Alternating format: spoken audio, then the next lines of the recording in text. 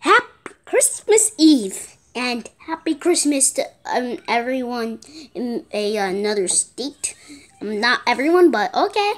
Bye.